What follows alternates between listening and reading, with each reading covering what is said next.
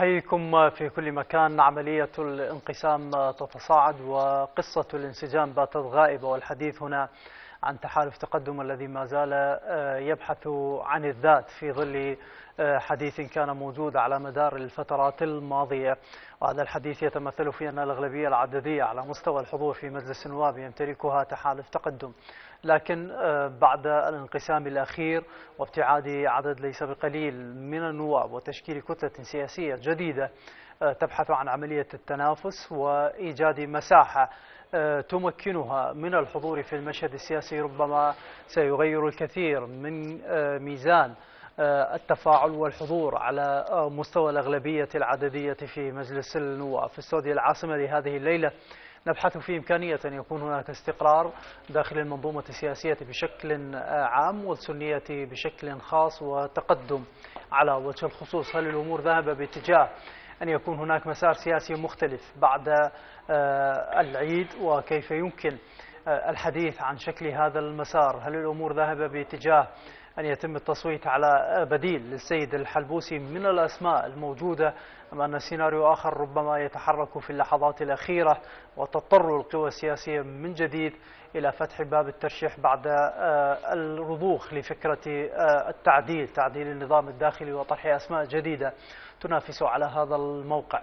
وكيف يمكن الحديث عن هذا الانقسام المستمر داخل المنظومة السياسية السنية والحديث بالتركيز وبالدرجة الأساس عن تحالف تقدم. أحييكم وأناقش هذا الملف مع ضيوفي هنا في الاستوديو. أستاذ علاء الكرخي أرحب بحضرتك. كل الترحيب أستاذ علاء. وأيضا الأستاذ واثق جابري كل الترحيب بحضرتك أستاذ واثق. وليبدأ منكم أستاذ علاء. إذا ما أردنا أن نتحدث عن الانقسام أو الانشقاق أو التكتيك كيف يمكن أن نسمي الحركة الأخيرة التي حصلت بانقسام أو انشقاق أو تكتيك عدد من نواب تقدم ابتداء لو أريد أخذ توصيف من حضرتك الحركة الأخيرة شنو ممكن نوصفها؟ شكرا جزيلا لجنابك تحية لحضرتك ولقناتكم والأخ العزيز والضيف الكريم ومشاهديكم الكرام. يعني عندي حقيقة بداية أقول أنه العملية السياسية باتت في العراق غير قادرة على معالجة الانقسامات السياسية بشكل الواضح. ولا تضع مصلحة البلاد واستقرارها فوق أي اعتبارات سياسية ضيقة. بالعودة إلى سؤال جنابك أنه أنا أعتقد أنه ما حدث الآن من تشكيل كتلة المبادرة بزعامة وبرئاسة السيد زياد الجنابي يعني أنا ما أشوف هي تختلف كثيرا عن قضية تأسيس تحالف الصدارة. لأنه ربما شعر السيد الحلبوسي من خلال أكيد قراءته السياسية وهو رجل معروف بقراءته السياسية يعني بالعادة تأتي بنتائجها جيدة. أنه شعر أنه البساط قد قد يسحب من تحت أقدامه خصوصا أنه القوى السياسية السنية أمام مرحلة انتخابية قادمة لذلك أنه أنا أعتقد أنه قضية المبادرة هي مناورة جيد. الغاية من عندها أنه كسب ود الأحزاب أو القوى السياسية التي ترفض مناورة من من صدى مناورة من قبل السيد الحلبوسي أنا أه. أعتقد لأنه التكتيك بالتأكيد لأنه إذا لاحظنا الأخوة النواب الموجودين هم الأقرب إلى السيد الحلبوسي من حيث النشاط والسلوك والتعاطي السياسي. وبالتالي أجد من الصعوبة بمكان أن يدب الخلاف بين تلك الشخصيات. وهذا ما يعني بأنه ماكو خلاف. بالتأكيد هذه السياسة يعني لا عدو دائم ولا صديق دائم. لكن أنا أجزم بأنه القضية ما هي إلا مناورة إلغاية من عدة. هذا هذا استنتاج تحليل لو عندك معلومة. يعني خليني أقول استنتاج. أكو معلومة لكن على مود أكون دقيق مع جنابك ومشاهدينا لا هذه استنتاج أقرب إلى الحقيقة.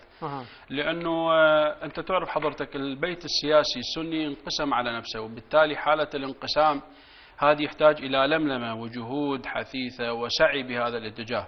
يعني أنا أشوف مو من المنطق أن يسلم الحلبوس الراية بهالبساطة هذه خصوصا أنه ما زال عدد لا بأس فيه من النواب معاه في شنو هدف هذا التكتيك من الحلبوسي؟ كسب ود القوى السياسية الأخرى من أجل انهاء أزمة اختيار رئيس البرلمان على أن لا لا تتعارض مع توجه الحلبوسي بالمرحلة المقبلة. على حساب عنوان حزبه وتماسك يعني هذا الحزب؟ ما أكو شيء وصل إلى عنوان حزبه، هو حزبه أخذ استقراره يعني حتى لو فرضنا جدلا بأنه الانتخابات القادمة قد تؤثر على وضع الحلبوسي نعم ربما تؤثر لكن مو للحد الأعلى التي قد تؤثر على وضعه و إمكانيته أو مساحته مع جمهوره في الأنبار تحديدا وانسحابا إلى بقية المحافظات. أجدها مناورة وأعتقد بأنه مناورة دقيقة وفي وقتها الصحيح لأنه لا مناص من اختيار رئاسة البرلمان حتى لو كان واقع الاختيار على السيد سالم العيسى وبالتالي الأيام حبلى بالمفاجات إحنا خلينا نقول لا تعارض مع أي قوة سياسية موجودة لا تعارض مع زعامات سياسية موجودة لا تعارض مع مصالح سياسية موجودة. ما دامت القضية قائمة على توافق. تمام أستاذ علاء أنا راح أعود لك وأريد أتحدث عن إنه كيف سيتعامل الإطار مع هذه المناورة. أرحب بحضرتك أستاذ واثق وأسألك بما كان يتحدث به الأستاذ علاء. تتفق ابتداء مع هذه الرؤية أن ما حصل من تشكيل لكتلة بعنوان المبادرة هو تكتيك آه، من تقدم ومن الحلبوسي. نعم شكرا جزيلا لكم وتحية لكم مشاهديكم الكرام والضيف الكريم.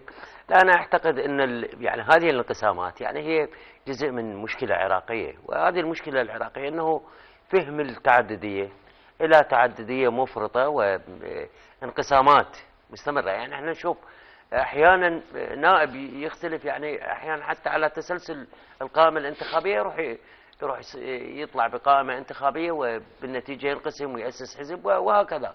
وزير آه، كذلك.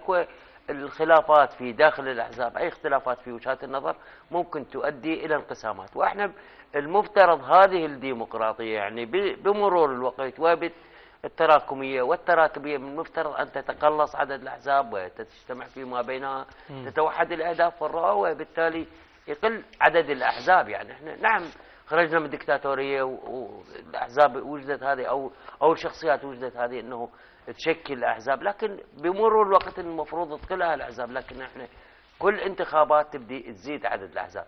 وهذه النتيجة طبعا اللي موجودة. يعني هذا ما موجودة فقط عند عند الأخوة السنة وإنما موجودة في الشيعة أيضا وفي الكرد أيضا. شوفوا الأحزاب الاكراد كانوا حزبين واليوم كم حزب؟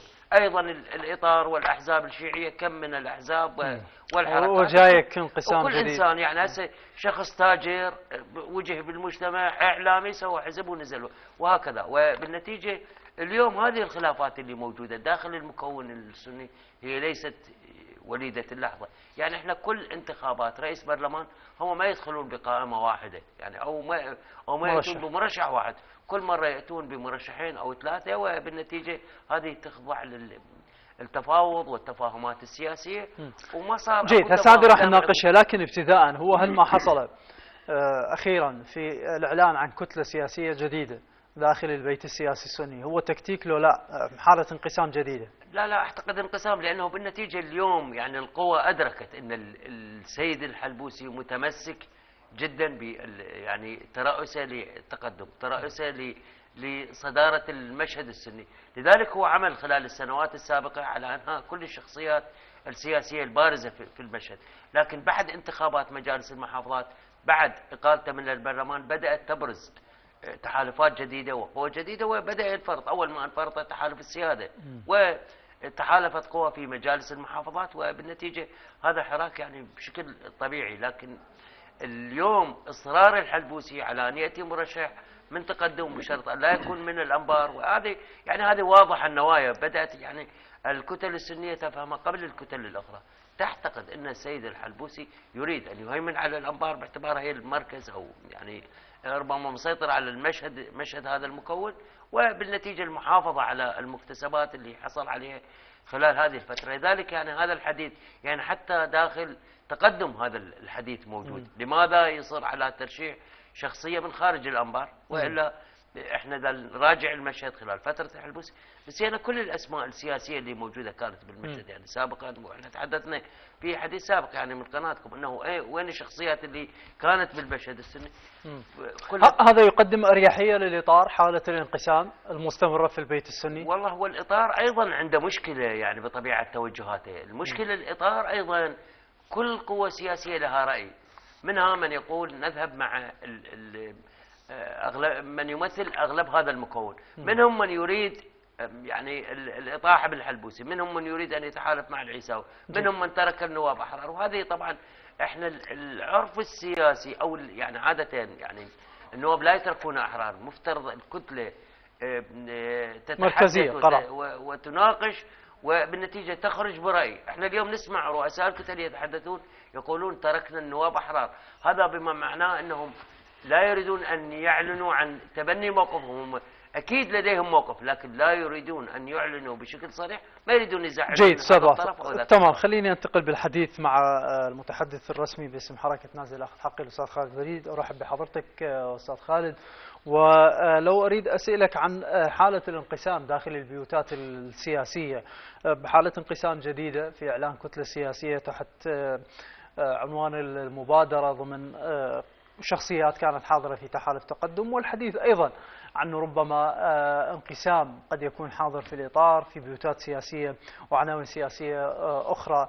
هل يشكل ذلك حالة آه، إيجابية في المشهد السياسي أم أنه يعزز من نظرية القوى المعارضة للنظام السياسي الحالي من أن العملية السياسية الحالية ما عادت قادرة على الاستمرار؟ تحية طيبة لحضرتك تحية طيبة للضيفين الكريمين. حياك والتحية موصولة لقناتكم الكريم. يعني بصراحة إذا ما عدنا إلى عام 2005 وما تلا عام 2005 من وجود هذه القوى التي قامت على أساس التوافق والمحاصصاتية كانت هي قوى معدودة لا يمثل المكون حسب وصف السياسيين التقليديين سوى قوة أو قوتين. تقاطع المصالح استمرار النزاعات والصراعات أصبح كل مكون هناك أكثر من قوة سياسية تتناحر على مكاسب معينة.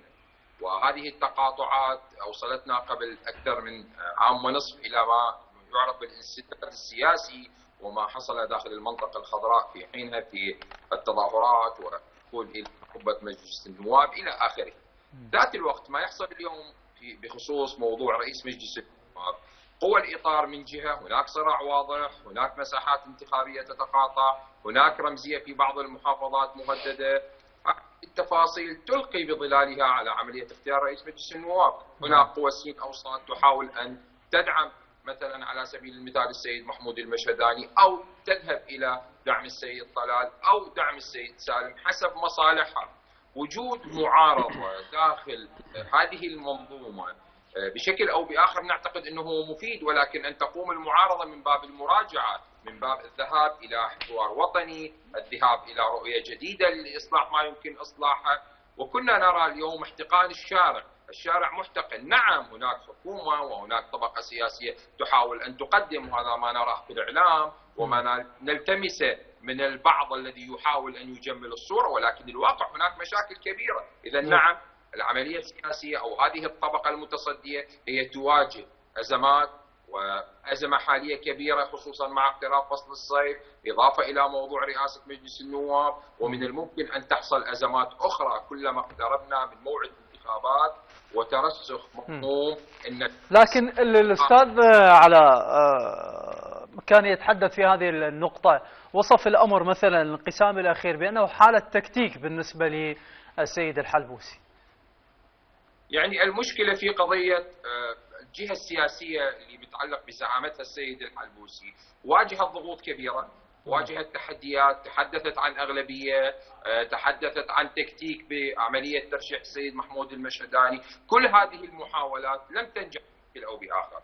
الذهاب اليوم إلى تحالف آخر تحت اسم مبادرة أعتقد جزء منه هو يتعلق بشكل الانتخابات القادمة خصوصا وإن هناك حديث على إنه من الممكن أن يكون هناك عملية تعديل بالقانون الانتخابي آه، مثلا بغداد ما تكون دائرة واحدة تكون عدة دوائر آه، كثير من التفاصيل الفنية. كل هذه الأمور واردة في حسابات السياسيين عند اتخاذهم للمواقف، ليس بالضرورة إنه التحالف الجديد يذهب إلى دعم مرشح معين بقدر ما يحاول تحقيق مصالحه مع قرب الاستحقاق الانتخابي والصراع اليوم واضح في الميدان حتى ما بين النواب. نعم. جيد. لو أردنا أن نتحدث بشكل آه، واضح آه، أستاذ خالد هل المشهد الآن المشهد السياسي يسير باتجاه آه، الانسداد التام الذي قد يعيد الأمور إلى المربع الأول وهو مربع ما قبل تشكيل حكومة السيد السوداني؟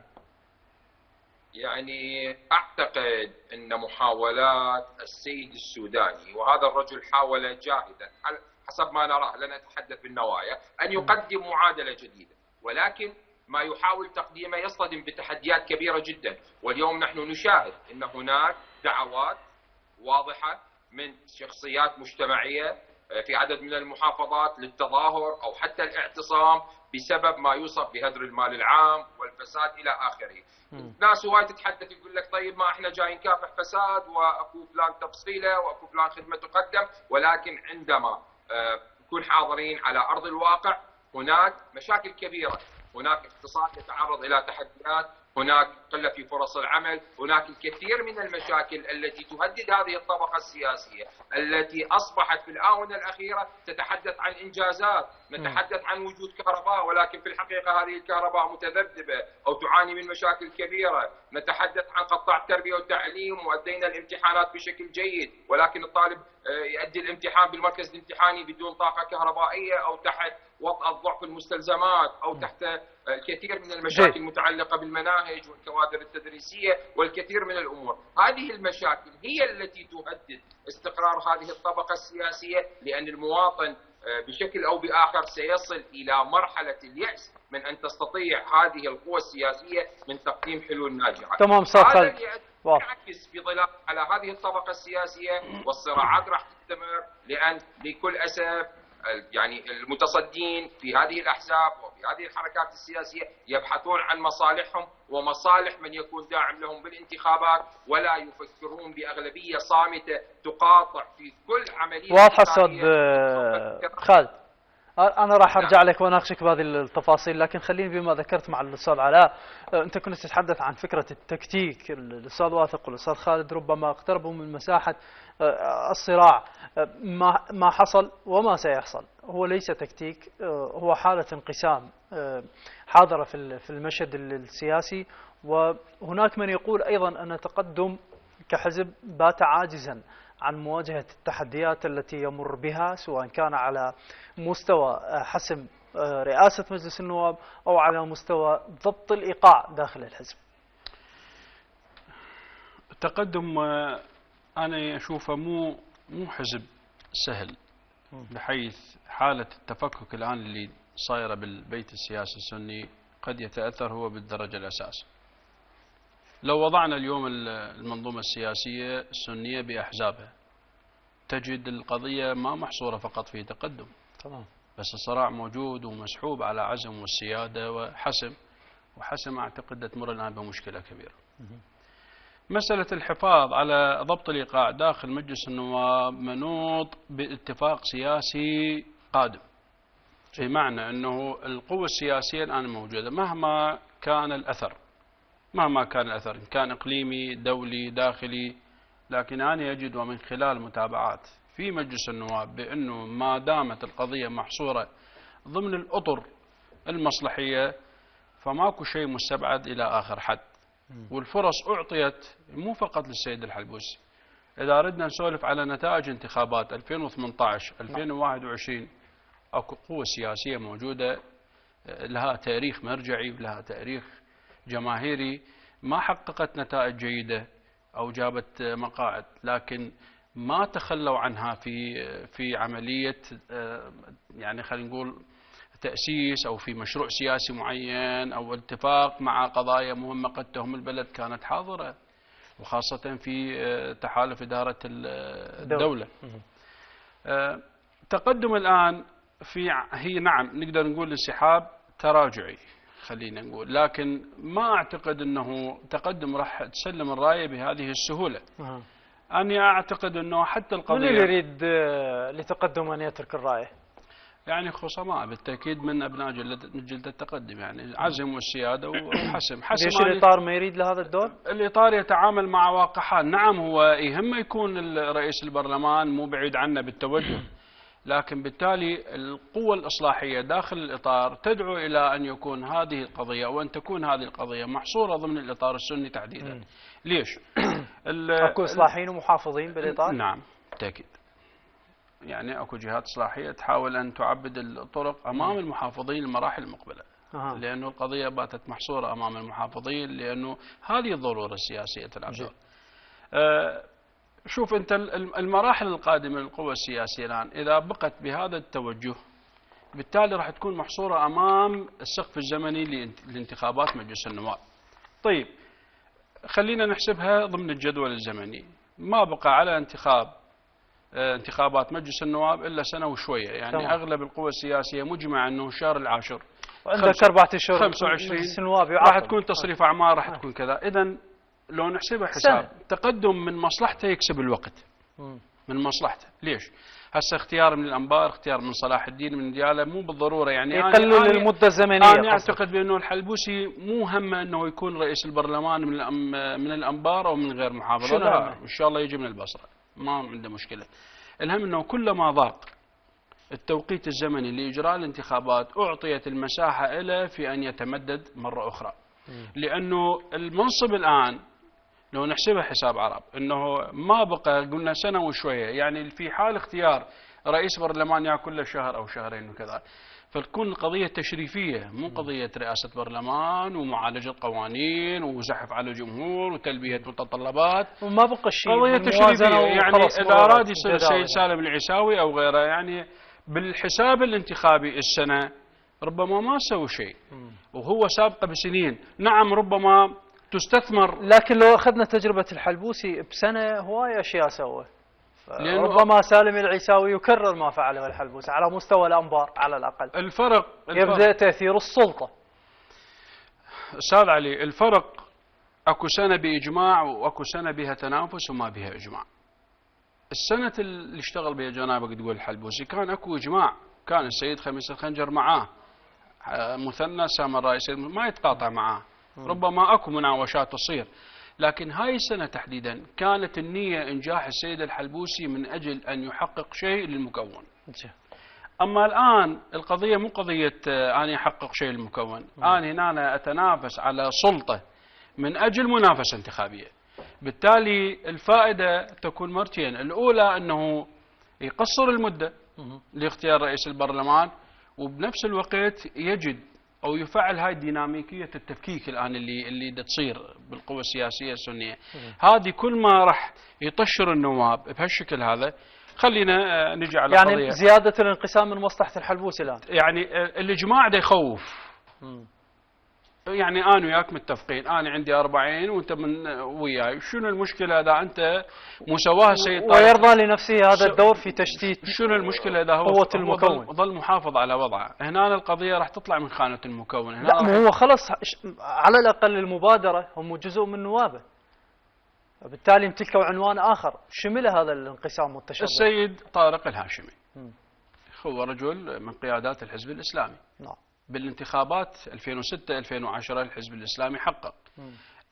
2010 2014 صار أكو آه، ما كان مقبول حيل الحزب الإسلامي. أحكي لك ضمن البيئة السياسية السنية. فقدر بمناورة أن يشكل قائمه اسمها تجديد. حقق اللي ما حقق الحزب الإسلامي بالأصل. وبالتالي ما أثر شيء على وضعه. بالعكس هو هو دعم الحزب الإسلامي بهذه المناورة.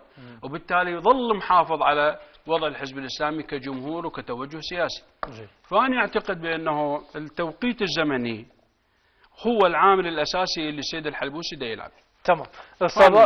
أستاذ واثق بين الإصلاح حركة الإصلاح وحركة المحافظين اللي كان يتحدث عنها الاستاذ علاء الآن لو أردنا أن نحمل بالدرجة الأساس آه، قصة تأخر أو تأخير انتخاب بديل عن السيد الحلبوسي من يتحمل بالدرجة الأساس؟ قوى الإطار التنسيقي أم حالة الانقسام والتشظي أو حالة التكتيك داخل البيت السني؟ لا طبعا البيت السني هو من يتحمل يعني ليش مو الإطار؟ لا لا الإطار الإطار هي يعني أنا قلت هي يعني هو الإطار لو متفق على مرشح في الجلسة الأخيرة جلسة 18 شهر آه، كان مرة في الأمور. كان مظل. يعني مو إحنا العرف السياسي يقول أن رئاسة البرلمان حصة المكون السني إيه؟ ورئاسة الجمهورية للكرد ورئاسة الوزراء للشيعة. هذا هو العرف السياسي لكن على أن هذا المكون أن يتفق. لكن المشكلة إنه يعني إحنا من عام 2003 خلي نكون صريحين أستاذ علي. من عام 2003 هذا المكون أو المكون السني الأخوة الكرماء يعني لحد الآن هم كأنما بعيدين عن الدولة العراقية. هم يعني إحنا من اللي وصل هذا المكون من وصل العراق إلى إلى هذه يعني المشاكل الخلافات الدماء اللي دفعناها من اللي دخول وصل؟ داعش. هي خلافاتهم سبب الخلافات والصراعات وإحنا يعني كل اللي صار بعد 2003 بسبب خلافات المكون السني؟ نعم إحنا أنت شوف أنت الآن جاي. تحمل مكون كل نعم، مشاكل العراق. لا لا مو إحنا شوف إحنا مرت بال- بالعراق يعني كثير من التجارب إحنا اذا إذا نريد نترك فترة داعش ولا ما بعد من أحيان ال- ال- من صارت تظاهرات والتظاهرات والخلافات المكون السني يتفرج ولا كانما شريك لا دخل وسيط. ولا دخل كانما يريد أن يطيح بالمكون الشيعي وبالتالي إحنا يا أما نكون شركاء والكل يتحمل مسؤولية والعلاقات تكون على أساس هذا الوطن على أساس الهوية. هسه إحنا اليوم اذا إذا رجعنا للمناطق ال ال ما هو إذا يشترك مثلا بعملية الاحتجاج اللي ذكرتها حضرتك راح تقول عنه عنده مشروع إسقاط لا النظام. مو مو احتجاج لا لا. لا كان مؤيد للاحتجاجات لإسقاط هذه القوى بينما عندما ذهبت تظاهرات إلى الأنبار رفضوا شوف إحنا يا اما نكون شركاء والكل يعني نحافظ على العملية السياسية باعتبارها العملية السياسية هي وجود لهذه القوى لكن إنه كل قوة سياسية أنا أنا ما أنفي إنه في الإطار أو في يعني في المكون الشيعي أو في المكون الكردي. من يتمنى أن تكون خلافات في المكون الآخر؟ وهذا غير صحيح يعني إنه ليس بمصلحة أحد. لكن إحنا إحنا اليوم شنو يعني هم شنو الأوراق اللي يستخدموها الآن؟ الأخوة في المكون السياسي يستخدمون؟ النازحين المهجرين ال- الكذا المهمشين المغيبين هذه ال- المسميات. لكن هل هو بالفعل يعني عمل على أرض الواقع هم؟ أوراق سياسية مثل ما يقول لك. المقابل يستخدم ورقة المقاومة. نعم هذه هذه ال- القضية يعني بالتالي هم يتصارعون لأنه يعتقدون هم دائما يتبعون من في السلطة. لذلك يعني أنا أختلف مع أستاذ علاء. لا لو كان يوم واحد للانتخابات يعني سوف يراهنون عن من سيكون رئيس البرلمان لأنهم سيتبعون من في السلطة. وضرب مثل أنه من في السلطة هم يصوتون. لذلك الحلبوسي يقاتل الآن ويعتقد إن إن كل ما حصل عليه من مكاسب يمكن أن تذهب في حال ضياع السلطة. وانت شوف بهذه السنة راح يضيع كل شيء. حتى لو كان بعد ست اشهر يشكل رئيس برلمان لو كان بعد شهر هذا يعتبر نصر وكسر لقوة أخرى. وهذه هذه المراهنة وإلا ال- القوى السنية ممكن أن تتفق وتبلور يعني هو ليش ال- السيد سالم العيساوي مو كان من من التحالف اللي موجود به يعني مع تقدمه ممكن إنه تمضي العملية السياسية. لكن ال- الآن الحلبوسي يتمنى أن تبقى العملية بهذا الشكل، يتمنى ان أن يكسب الوقت أو إلى آخر لحظة وتبقى العملية. بالتالي يعتبر هذا نصر له. القوى الأخرى تعتقد إنه في حال فوزها وحصولها على رئاسة البرلمان سوف تكسر الحلبوسي وستتصدر المشهد في المرحلة القادمة. جيد. أه، أستاذ خالد خليني أتحدث مع حضرتك بما أه، ختمت به كلامك قبل قليل وهو رغبة السيد السوداني في أن يعمل في أن يقدم. لكن أه، هناك من يرى أه، أن حالة الانقسام التي تحصل الآن على مستوى البيت السياسي السني وحتى على مستوى أه، بعض قوى الإطار التنسيقي كما عبر الأستاذ علاء في حالة ال- الإصلاح وحالة المحافظين هي في النهاية وفي المحصلة أه، من مصلحة السيد السوداني أن تستمر حالة الانقسام داخل البيوتات السياسية لتنشغل هذه القوى بخلافاتها بصراعاتها الداخلية وتترك له المساحة أه، للعمل الحكومي ابتداء ولتنظيم أوراقه سياسيا أيضا، على اعتبار هناك بعض المصادر تتحدث عن أنه حتى الانقسام الأخير ربما فيه أه، حراك أو جانب حكومي. نعم. يعني بالحديث عن موضوع السيد السوداني والحكومة، بالتأكيد هو عدم وجود خلافات ما بين هذه الأحزاب والحركات السياسية ومجلس النواب بشكل عام سيفضي إلى أن يعيد ائتلاف إدارة الدولة اولا ومن ثم الإطار التنسيقي اوراقه بخصوص مراجعة الحكومة وتحقيق مصالحها، خصوصا ما إحنا اليوم آه، كان هناك حسم لقضية رئيس مجلس النواب. أعتقد إنه نواب المناطق المحررة سيعودون بالضغط في القضايا المتعلقة بالمغيبين والعودة إلى جوف الصخر والكثير من هذه التفاصيل. ممكن يكون هناك ضغط وحراك سياسي يسبب حرج آخر للحكومة. وفي ذات الوقت عملية الاتفاق داخل الإطار التنسيقي من الممكن أيضا أن تقود إلى حرج للسيد السوداني لأن بشكل أو بآخر تابعنا منذ عدة أيام وأسابيع بعض التصريحات اللي تتحدث بشكل أو بآخر بطابع مساحة عمل انتخابي وتتحدث عن ضرورة أن يقدم مثلا رئيس مجلس النواب أو المتواجد في السلطة التنفيذية قبل ستة أشهر من انتخابات استقالة أو ابتعاد عن العمل إلى آخره. كل هذه التفاصيل تؤشر أنه من مصلحة السيد السوداني أن يكون الوضع في نوع من عدم الاستقرار ليتمكن من إكمال الكثير من الأمور التي يعتقد هو وكابينته الحكومية أنها ماضية بالاتجاه الصحيح. نعم. لكن أنا أريد أسألك عن هذه النقطة بالتحديد مرة أخرى آه، أستاذ خالد. إنه هل السوداني الآن بشكل واضح ومباشر هو الرابح من ما آه، تعانيه بعض القوى السياسية من حالة خلاف انقسام آه، تشظي؟ يعني ما أعتقد راح يكون هناك ربح بما بمصلحة وطنية للجميع أو بمصلحة جيد هنا يأتي السؤال هي هل القوى السياسية أستاذ خالد التي نتحدث عنها؟ عن مصلحة ضيقة والسؤال يأتي هنا أستاذ خالد. هل القوى نعم. السياسية التي نتحدث عنها تفكر في المصلحة الوطنية؟ هو ثاني مجايب الحديث، أما إذا تحدثنا عن مصلحة سياسية تتعلق بحزب سياسي أو حراك أو قائمة انتخابية ستشكل لاحقا لتأخذ الثقل الأكبر من الأصوات وتحقق رمزية أو زعامة سياسية في بغداد أو في عدد من المحافظات فبالتأكيد استمرار هذا السلوك وأنا تحدثت في بداية اللقاء أنه راح يفضي إلى تشتت ونزاع أكبر ما بين هذه القوى السياسية وصولا إلى مرحلة المزايدة ومن الممكن في لحظة أو بأخرى أن ينهار الوضع بشكل كامل سياسيا. نعم. شنو شنو نتائج هذا الانهيار؟ آه، اللي تتحدث يعني هذا الانهيار ممكن يوصلنا إلى حالة عدم الاستقرار مثل ما شفنا اليوم رئيس مجلس النواب شاغر لكذا شهر وراح نوصل لفترة طويلة بهذه القصة قد نتجاوز حتى السنة وممكن ندخل الانتخابات القادمة ورئيس مجلس النواب شاغر ممكن نرى الكثير من القضايا والمشاكل الأخرى حاضرة. اليوم مثل ما تحدثت قبل قليل من الممكن أن تكون هناك تظاهرات. الناس اليوم بالشارع تستشعر أن هناك هدر كبير بالمال العام وممكن تكون هذه مشكلة أخرى بسبب هذه النزاعات. وتفكير أطراف العملية السياسية بمصالحهم من الممكن أن نعاني آه، انهيار في موضوع الطاقة الكهربائية أو في شحات المياه أو بسبب ارتفاع درجات الحرارة والتغير المناخي وإلى آخره من هذه التفاصيل. وكل هذه الأمور بسبب انشغال القادة السياسيين بمشاكلهم على حساب مصالح لكن هذا شغل الحكومة بالجانب الآخر أستاذ خالد. المفروض يعني الحكومة متفرغة. منفردة ما تستطيع ان تحقق شيء. هي معادلة متكاملة. هناك سلطة تشريعيه وسلطة أستاذ خالد؟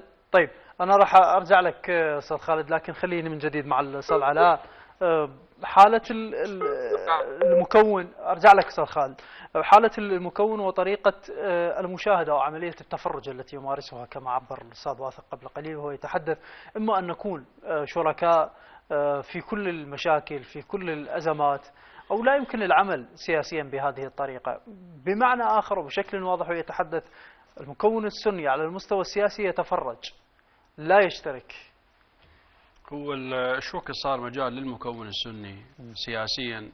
أن يأخذ قراره ويشارك الحكومة بأغلب الفعاليات السياسية لكي لا نحمل طرف على حساب طرف. أستاذ واثق ذكر كلام وأنا أحترم رأيه بالتأكيد وقال التظاهرات اللي صارت وين السنة عنهم؟ وأني أجاوب أقول له التظاهرات اللي كانت بالأنبار وين أهلنا الشيعة عنهم؟ وبعدين حولت إلى منصات وكذا ودخل وصار اللي صار. المكون السني أنا أعتقد هو هو امتداد لحالة تهميش ما حدث الآن. ما حدث وما سيحدث في المراحل اللاحقة. وما كان على المكون السني أن يبادر ولو بالحد الأدنى عانى من قضية تهميش وبعد عن القرار السياسي وبالتالي قدر ليش هو ما مشترك في القرار؟ مشترك لكن مو للحد اللي يخليه يأخذ قرار قرار مكونه براحته. مو للحد اللي يخليه يكون من وصل لهذه له القدرة. طبعا بقية المكونات الأخرى. يعني أنت رئاسه رئاسة الوزراء معروفة بيد المكون الشيعي وبالتالي بالفترة التي سبقت 2005 وامتدادة. القضية معروفة للجميع. هذه الإرهاصات اللي مرت بها الدولة. آه، تركت مسافات آه، خطر بين الفريقين. عولجت بعدين بال آه، خلينا نسميها بالتواصل بالتفاعل داخل مجلس النواب. عولجت. لكن أنا ما ابدي اليوم أذب أذب الملامة على مكون وأترك البقية. هو ذكر قال الكل شركاء. نعم. يفترض الكل شركاء لكن مو شركاء بس بالضيم خلي يكون شركاء بالرفاهية بالقرار السياسي بالمساحة. انطيني انت من بعد قبل فترة الحلبوسي. شوف المزاج الشعبي السني قبل داعش شكل والمزاج اختلف من بعد داعش. داعش كانت محرك في تغيير المزاج الشعبي السني وخاصة بالأنبار. على اعتبار الأنبار كانت المعقل الرئيسي لداعش وانطلاقا من عندها تمام. اليوم من تجي أنت نسوق فكرة أنه على المكون السياسي السني أن يجد حالة الثبات أو حالة الإجماع. بالتالي الموجودين كأطراف سياسية داخل البيت السياسي السني هم ما يمتلكون حالة الإجماع إلا بالتنسيق مع البقية. وأنا أقصد بالبقية أن بقية المكونات السياسية وأخص بالذكر المكون الشيعي الكريم. وعلى هذا الأساس صار الانطباع العام مأخوذ بأنه لا رئيس برلمان يصير إذا مو بالاتفاق مع بقية المكونات وتحديدا المكون السياسي الشيعي. ليش؟ لأنه هنا هنا قوة الشريك لو ضعف من اللي يمثل المكون السني. لا ضعف وليس قوة الشريك. آه. أنت ما أنت هو نعم مارس عليك بس بنفس الوقت أنت روح اجمع نفسك اجمع ربعك وصير قوي.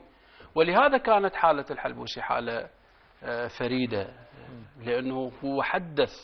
شوف بعض القوى السياسية السنية أطلقوا عليه صبي سياسة أول ما بلش. تمام.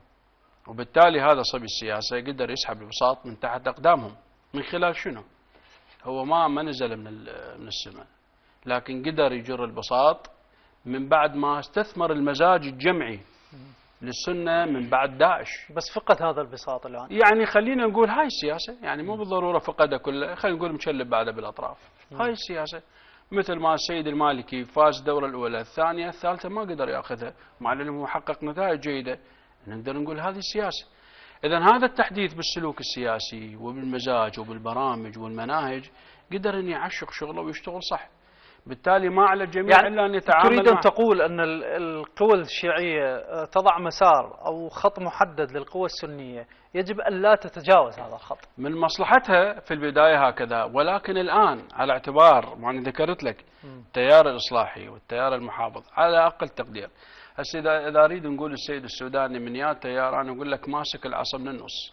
لا يحسب على الإصلاحيين ولا يحسب على المحافظين ولكن رجل يعني مسافة واحدة مع الجميع وبالتالي لا يتعارض مع توجهه السياسي بالمرحلة المقبلة وأنا سامع من بعض النواب السنة أنه مشروعنا القادم مع السيد السوداني السؤال اللي يطرح نفسه هل هو هل السوداني اختيار ضرورة لو اختيار لأربع سنوات قادمة؟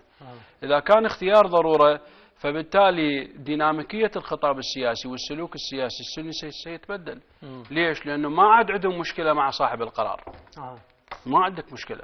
لكن سابقا كانت أكو مشكلة مع صاحب القرار لأنه أي فعل أي فعل يصدر من القوة السياسية السنية إن كانت على مستوى جماهيريا أو سياسيا تمام. أنت شماعة الأربع أرهاب مشلبة بيك. أها إذا أنا أكو أكو حراجة. انطلاقة السيد السوداني وأنا ذكرتها ربما راح تنطي أريحية للبقية أن يتعامل. تمام. هو في عملية المشاهدة والتفرج هو الأستاذ علاء يقول لك أنت متى أعطيت المساحة؟ لمن يمثل المكون حتى يتحرك بالطريقة التي تنسجم مع قناعاتك وتطلعاتك. هذا واحد. اثنين آه، عملية التواصل أو العلاقة مع القائد الأول والحديث هنا عن سلطة رئيس الوزراء. الآن اختلفت وبالتالي اختلف التعاطي. أنت ماذا تقدم؟ ستحصل آه، من المجتمعات الأخرى. والحديث هنا ليس فقط عن المكون السني حتى من المكون الكردي أيضا. عندما تكون عملية التواصل إيجابية النتائج والمخرجات ستكون إيجابية. في المحصلة المشكلة آه، في من يمثل البيت الشيعي سياسيا. نعم أنا أقول متى المكون الشيعي اتخذ قرار يعني مخالف للأخوة السنة. يعني إحنا بس آه، لكن أكو فد أشياء يعني على الأخوة هم لحد الآن ما مقتنعين بها. إنه هي العملية يعني هي هذه الطبيعة. أكو أخ أكبر وأكو آه، أخ أصغر وهذه العملية وبالتالي قوة العلاقة يعني بداخل العائلة بداخل أي تركيبة ممكن. أكو من يأتي بالترتيب الأول والثاني وتمثيل ونسب التمثيل. هذه إذا تحترم قوة هي للكل. الأخوة يعني خلال هذه الفترة يعني هم كم مرة رغم انه يعني رغم إنه الشيعة الأغلبية اعترضوا على رئيس وزراء وتم تبديل رئيس وزراء. وأنا أعتقد ضعف المكون الشيعي. هو من وإلا المفروض اليوم يعني حتى مرشحين رئاسة البرلمان ممكن يعترض عليهم. وهذا ما سواها لحد الآن. هم يطرحون مرشحين اثنين ثلاثة أربعة. لا أنت الآن عنطب شو مع شو معطل؟ اللي جاي يحضرون ويرشحون ويترك الحرية. لكن إحنا إحنا اليوم وانت ليش تترك الحرية؟ وانت في بداية الحوار ذكرت انه قصة المركزية مهمة. لا لا. إن هذا أيضا تكتيك من الإطار. اذا الشيعة ما أخذوا دورهم الحقيقي وإلا هم الأغلبية المفروض يفرضون على بقية القوى ويشترطون من ترشحون ومن لا ترشحون. بالتالي هذه العملية حتى تمضي بهذا الشكل. لكن الأخوة هل إنه الأخوة ما أخذوا دورهم؟ لا. الأخوة إحنا شو عطلنا كل المحافظات من أجل إعطاء الأخوة حقوقهم وما يقولون عن التهميش وحاربنا داعش ودفعنا دماء وكذا من أجل إرضاء الأخوة. وحتى التظاهرات اللي الأستاذ علاء اللي يقول عنها كل المكون الشيعي كان يرفض التظاهرات اللي موجودة بالأنبار. اللي تريد إسقاطه. وقال هذه تظاهرات داعشية لكن لكن كان أكو قوة ومشايخ وقوة سياسية وقوة سياسية بل موجودة في العملية السياسية وتؤيد هذه. ثم إحنا اليوم إذا عندنا قضية اختيار رئيس البرلمان ليش إحنا مو عندنا تحالف إدارة الدولة. ما ممكن إنه الأخوة بمختلف مكوناتهم يرجعون إلى تحالف إدارة الدولة وبالنتيجة يتناقشون ويطرحون الشخصيات اللي موجودة. ونعرف منه برنامجه. إحنا اليوم وهي هذه اليوم السيد الحلبوس اللي ما كان قدم هي مو المرة الأولى إنه آه تذهب الأمور باتجاه أكثر من مرشح. في كل جولات انتخاب رئيس مجلس النواب يكون أكثر من مرشح لا. مرشحين اثنين. وإحنا كان في الحكومة وتحسم الأمور. ليش هذه المرة ما انحسمت هذا وإحنا كان عندنا يختلف عن الحكومة السابقة. كان الحكومة السابقة ماكو ائتلاف حاكم. اليوم عندنا ائتلاف إدارة الدولة. جي. المفروض يجون يناقشوا القوى الاخرى يجون يسألون حتى تقدم. يا تقدم أنتم كنتم تختلفون مع المشهدان. اليوم شو اللي إجاكم تجيبون شخصية أنتم كنتم يعني تتهموها بشتى الاتهامات؟ وهي هذه إشكالية. ليش ما تدعمون سالم العيساوي اللي كان وياكم بنفس التحالف؟ لماذا سالم العيساوي هو يقدم نفسه ولا يطرح أحد من تقدم باختيار الحلبوسي؟ هي هذه المفروض القوى السنية تقدمها لبقية القوى وتقنع القوى ويتفقون على مرشح بالنتيجة. إحنا ما نبقى دائما بهذه الدوامة ولا الاخوه خمس نفرات صايرين كتلة، أربع نفرات صايرين كتلة، يعني إحنا هسه الآن ما جاي نفهم يعني حتى في داخل تقدم التصريحات هي ليست تصريحات موحدة، الكل يصرح آه، برأيه الشخصي آه، ربما هي آه، يعني أدوات لضغط يعني على القوى الأخرى، لكن بالنتيجة إحنا اليوم الأصوات واضحة. وقوى الإطار طبعا هي مسؤولة عليها أن تتخذ قرار. وتكون صريحة لا تبقى بهذه يعني بهذه الصيغة إنه تمام. إحنا ما نعلن عن موقفنا الموقف للنواب. لا. على رئيس كل كتلة في الإطار أن يعلن إنه مع هذا المرشح ولماذا ومع ذاك المرشح. لكن بنفس الوقت أيضا القوى السنية يعني سواء التقدم أو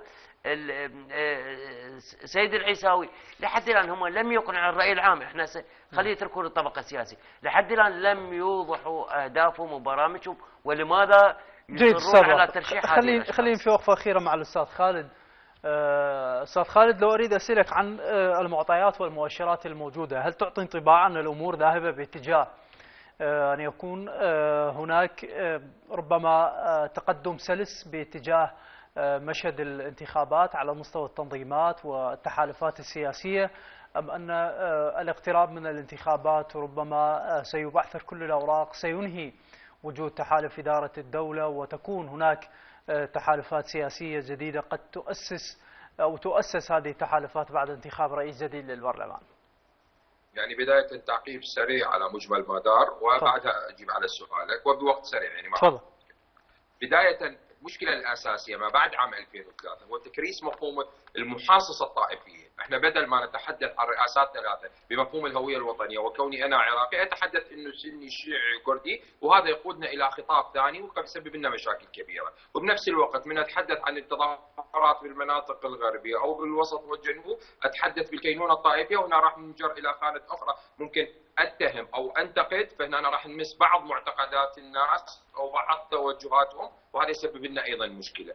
مشكلة هذه الطبقة السياسية هي في هذه الجزئية، رسخ مفهوم المحاصصة، انتقل مجتمعيا في فترات سابقة وسبب لنا مشاكل كبيرة.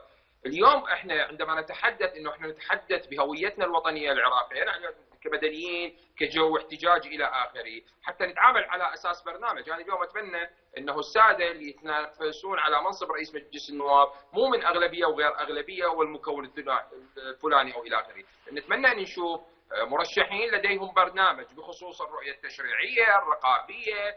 شنو برنامج قصير الأمد بعيد الأمد لما يعاني البلد من تحديات وفي ذات الأمر في باقي التفاصيل. نجي للحل، الحل هو في جزئية الآتية، اولا الآباء المؤسسين أو الزعامات السياسية التي وضعت الأسس للجمهورية السادسة في العراق بشكل أو بآخر عمرها السياسي بدأ ينتهي وهي اليوم غير قادرة على محاكاة الشارع والشارع يمتلك نوعا ما نقمة كبيرة عليه. هناك زعامات الصف الثاني ومن ضمنهم السيد الحلبوسي الذي بشكل أو بآخر يحاول أن يحاكي الشارع ولكن حتى اللحظة لم يستطع أن يتحرر آه، من هذه المنظومة المحاصصاتية. إن استطاع السيد العفو السيد محمد الشيخ السوداني عذرا إن استطاع السيد السوداني.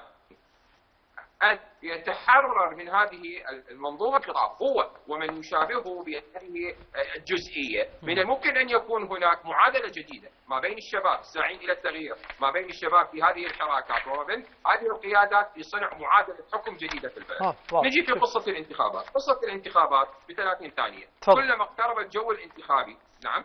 تفضل أستاذ خالد. كلما اقترب الجو الانتخابي. وسط هذه المعطيات سيشتد الصراع.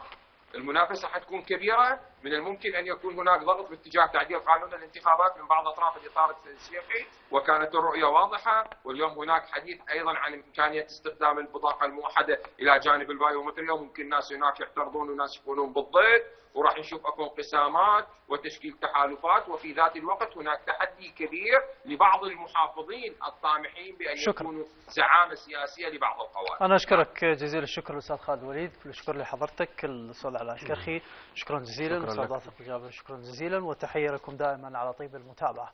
إلى اللقاء.